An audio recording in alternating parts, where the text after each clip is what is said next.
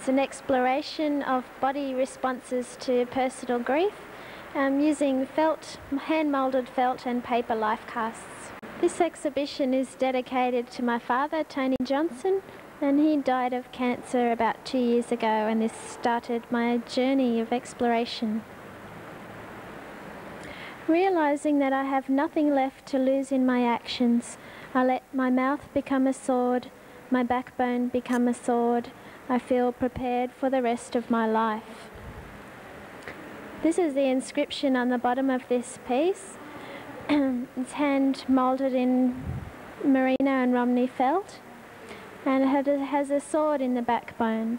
The sword to me is a symbol of um, speaking for one's own truth, um, for cutting through all the um, lies and deception that we hear about life and about grief, and getting right down to the truth of it all. Uh, the white light around the sword is a protective light to me, and the colours are also symbolic to me. Uh, rust, the colour rust enveloping the whole piece, is to me a symbol of the integrity of love, and the sword is um, an instrument of sharing that love and speaking for that love. The body holds close to the eternal solid the spirit longs to dance with him in the light. This piece is about the um, moment in grief where you feel stretched between being mortal and wanting to be in the spirit world with the person that's died. And the life cast is a paper life cast of me. And the, the body reaching up to the sky is a piece in felt and silk.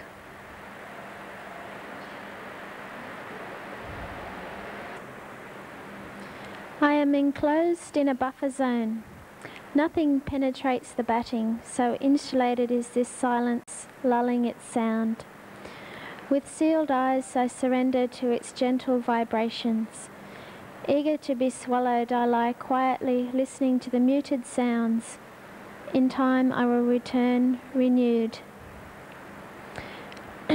this piece is about um, the moment in grief where you feel quite insular and uh, you feel like you want to create a white light around yourself, a protective light, a cocoon to give you breathing space.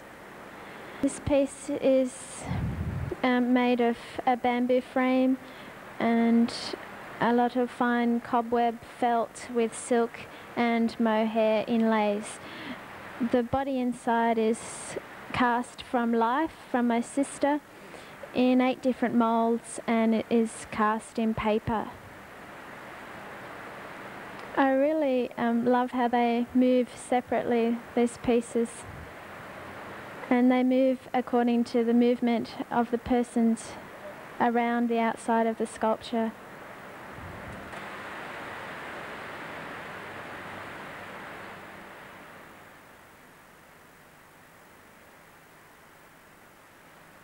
There is a roar in our ears, immersed in the deep, dragging this heavy body through the mud. Um, this piece is uh, speaking about the staging grief uh, where you feel totally overwhelmed and dragging yourself along through life. Um, this is a, a paper moulded shell with um, wool and found shells inlaid and there's two faces embedded in the shell the male and female parts of ourselves and they're casting paper from life casts